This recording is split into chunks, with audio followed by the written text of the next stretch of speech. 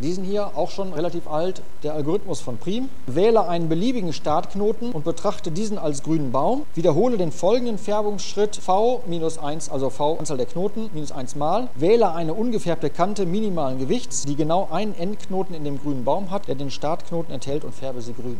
Greedy heißt immer, wir versuchen eine bestmögliche Verbesserung von einem Schritt zum nächsten Schritt und das ist genau dieses Prinzip wähle eine ungefärbte Kante minimalen Gewichts. Dieser Algorithmus von Kruskal ist eine spezielle Version des Färbungsalgorithmus. Jeder Färbungsschritt ist offenbar eine Anwendung der grünen Regel. Wenn wir die nicht mehr anwenden können, sind wir eigentlich fertig. Und der setzt das genau um. Betrachte den Schnitt, der durch die Knoten des grünen Baums induziert wird, der den Startknoten enthält. Dieser wird offenbar nur von ungefärbten Kanten gekreuzt. Und dann nehmen wir uns die raus mit minimalem Gewicht. Und das ist genau diese grüne Regel, die hier zum Einsatz kommt. Das ist sozusagen mein Startknoten. Jetzt müssen wir einen Schnitt bilden, die Kante mit minimalem Gewicht nehmen und das ist irgendwie diese. Die würden wir jetzt grün färben.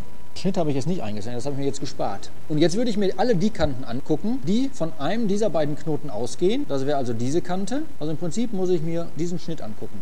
Jetzt nehme ich wieder die mit minimalem Gewicht. Das ist eindeutig diese hier. Hätten wir auch grün eingefärbt. Und jetzt würde ich den Schnitt nehmen und würde mir die mit minimalem Gewicht raussuchen. Das ist diese hier. Und jetzt hätten wir als Schnitt den hier. 14, 15, 10, 9, das müsste die Kante sein, wenn ich mich nicht täusche.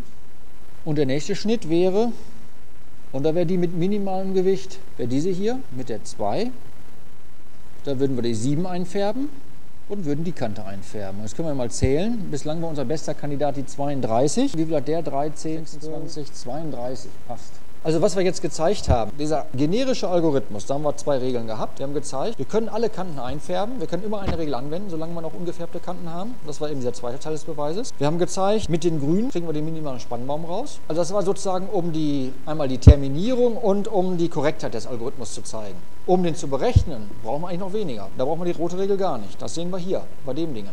Wenn ich das Ding implementieren will, unterscheiden sich halt so ein bisschen. Hier bei dem Prim wächst er sozusagen von einem Punkt ausgehend. Da wachsen verschiedene Teile zusammen, die auch parallel quasi irgendwie entstehen. Implementierung soll es heißen von dem Prim. Könnte man so machen, da könnten wir uns diese Heap-Struktur zunutze machen, die wir auch kennengelernt haben. In dem Heap können wir die Kanten verwalten, die genau sozusagen einen Endpunkt in dem bisherigen grün gefärbten Element haben ja, und die sozusagen Kandidaten sind für die Auswahl der nächsten minimalen Kante. Ja, und da suchen wir uns halt dann die günstigste raus. Das machen wir hier mit diesem Extrakt Min. Das ist quasi das oberste Element. Mit diesem Key verwalte ich noch Kanten, Kantengewicht.